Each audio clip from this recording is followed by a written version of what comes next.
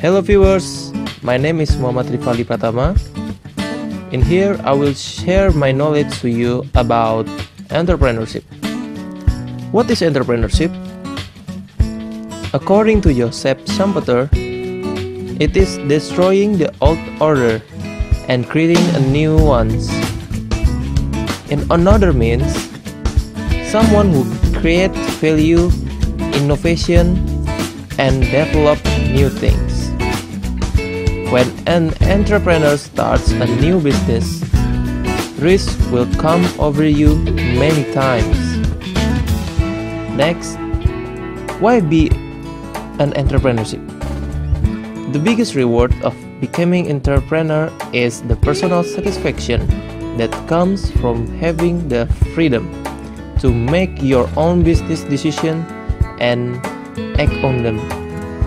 Making your own rules, doing work that you enjoy it, creating greater wealth and helping your community. So now we will talk about characteristic of entrepreneurship. First, self-confidence. Entrepreneurs must demonstrate extreme self-confidence in order to cope with all the risks of operating their own business. Next, discipline. Need to achieve, focus on profit, creative and innovation, and leadership. Next, why do we need entrepreneurs? Because 90% of the world jobs created by entrepreneurs.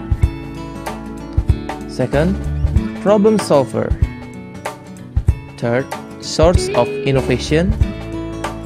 And lastly, it's the entrepreneur that keeps economy moving, not a world banner.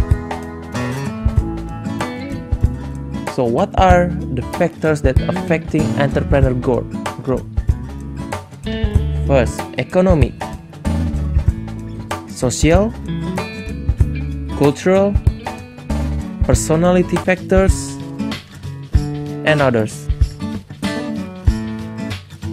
Thank you for watching. Hope you enjoy this video. Bye.